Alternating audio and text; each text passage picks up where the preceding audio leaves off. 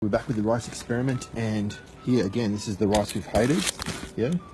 Hated, ignored, and loved, yeah? Notice the loved rice is actually in really good shape. I shake it around, still pretty brown, it's still actually pretty good. The ignored rice is all pumped together, I can't even move it, yeah?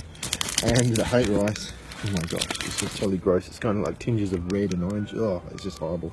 Now, how is this relevant to anything?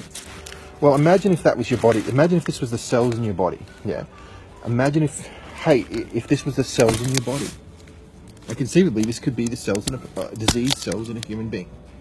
So when we have hate for others and hate for ourselves, especially hate for ourselves, self-hatred, self-criticism, this is what we're doing to ourselves. We're breaking down our body. We're ruining our body. We're impeding our body's ability to function when we hate ourselves. Yeah. Imagine if this was a school, a school which had a culture of hate or even a national culture which had a culture of hate, what would it do? That was the citizens. It would be the citizens, the, the morale, the emotional well-being of the citizens would break down.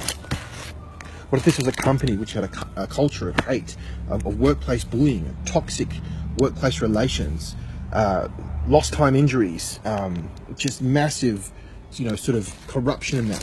What? Imagine if that was a company that had a culture of hate. What would that do to the members in that in that company. It would become toxic, and the human beings in that company would eventually break down, and eventually the company would break down and probably go bankrupt. Yeah. Okay.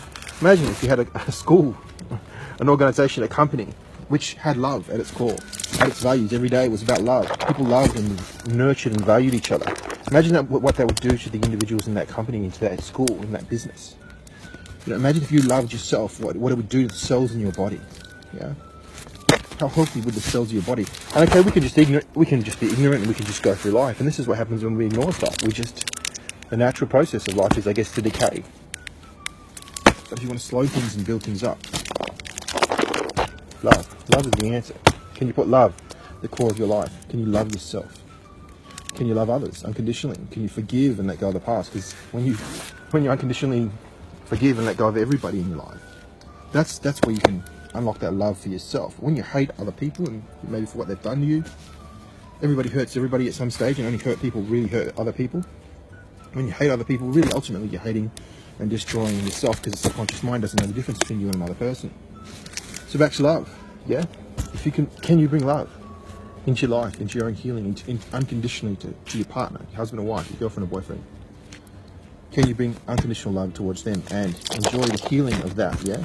Speaking on many levels, this this this rice experiment is a wonderful metaphor for for life, for living, for how things, how you know, I guess the laws of the universe work. Hate is a force. You know, the the energy of hate, the vibration of hate, does destroy, it does decay. So if we could take that to a global look at a global consciousness and how that affects humanity, then we can just look at life and you know how life is if we just ignore things. But if we go with the intention of love this powerful, powerful intention of love. Imagine, imagine how our reality could be if we were to greet our enemies with love, if we were to unconditionally love and forgive all people. Imagine how powerful and fantastic your life, my life, everyone's life on this earth would be. Yeah. This is Roger from the Healing Warrior Program. You can heal your life now. Oh yeah, Have a good day.